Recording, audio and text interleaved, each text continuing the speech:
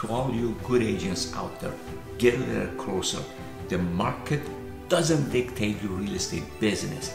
It only shows you what adjustments you need to make to thrive in any market.